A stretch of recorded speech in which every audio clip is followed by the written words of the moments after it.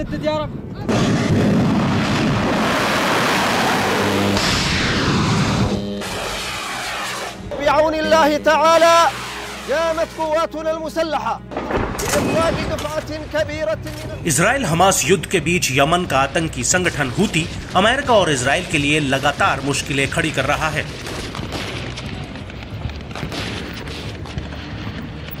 पहले हूती ने इसराइल पर एक बैलिस्टिक मिसाइल फायर करने का दावा किया था, जिसे लाल सागर में अमेरिकी जंगी जहाज़ ने इंटरसेप्ट कर लिया था।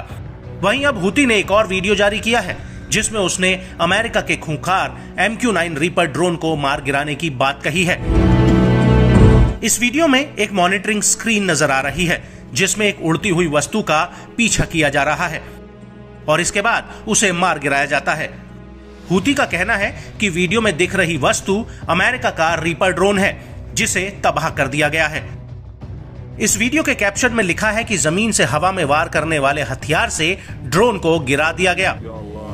हालाँकि ये कोई नई बात नहीं है, इससे पहले भी हूती ने अमेरिका के ड्रोन को उड़ाया है। लेकिन ये पहला मौका है जब हूती ने इसराइल हमास युद्ध के दौरान सीधे अमेरिका से पंगा लिया हो। वहीं दूसरी तरफ़ नाम न ज़ाहिर करने की शर्त पर अमेरिका के एक अधिकारी ने इस बात को माना है कि यमन के तट पर ड्रोन को मार गिराया गया है। हालाँकि अधिकारी ने यह नहीं बताया कि ड्रोन को अंतर्राष्ट्रीय हवाई क्षेत्र में मारा गया है। वहीं दूसरी तरफ़, हूती के सैन्य प्रवक्ता ने कहा कि यमन के जल क्षेत्र के ऊपर उड़ रहे ड्रोन को मार गिराया गया है।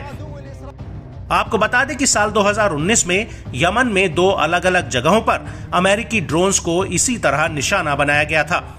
हालाँकि मिडिल ईस्ट में चरमपंथियों पर लगाम लगाने के लिए अमेरिका ने पहले ही अपने हज़ारों सैनिक इलाके में भेजे हुए हैं, जिसमें दो एयरक्राफ्ट कैरियर युद्धपोत भी हैं और इनमें से कुछ अमेरिकी सैनिक लाल सागर में तैनात हैं। पिछले महीने अमेरिकी नौसेना ने हूती द्वारा इसराइल की तरफ़ दागी गई कई मिसाइलों और ड्रोन्स को इंटरसेप्ट किया था।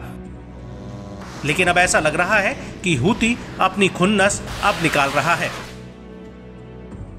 अमेरिका का कहना है कि 17 अक्टूबर 2023 से इराक और सीरिया में अमेरिकी सैन्य अड्डों पर कम से कम 40 बार हमले हो चुके हैं, जिनमें कई अमेरिकी सैनिक घायल भी हुए हैं। अमेरिका का यह भी कहना है कि इन सारे हमलों के पीछे ईरान का हाथ है। वो सीधे सीधे खुद आगे न आकर हिजबुल्ला और हूती जैसे संगठनों को बढ़ावा दे रहा है, जो मिडिल ईस्ट में अमेरिकी सैनिकों को निशाना बना रहे हैं।